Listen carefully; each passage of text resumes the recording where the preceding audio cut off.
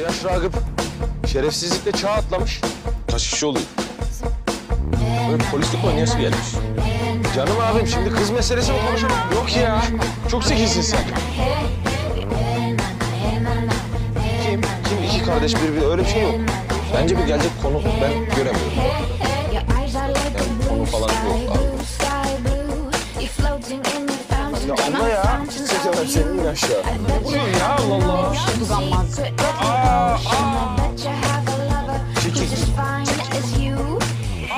Ben çatala yemek vermeyi unuttum. Ben... Konakta da yok. Çatal bak dürüm aldım sana bundan da. İyilik gibi ağzı. Tüh bakır olsa ağzımdan kaçır ben. ya Allah'ını seviyorsan saçma. Sarem, savcım. Ulan bu zarı patladı neymişsin be? Akıl var. Otur, sen de geç otur. Kıracağım ben bu kafayı. Ne geliyorlar hadi bakayım şamputan Yok anam sen değil be. Diğer şerefsiz.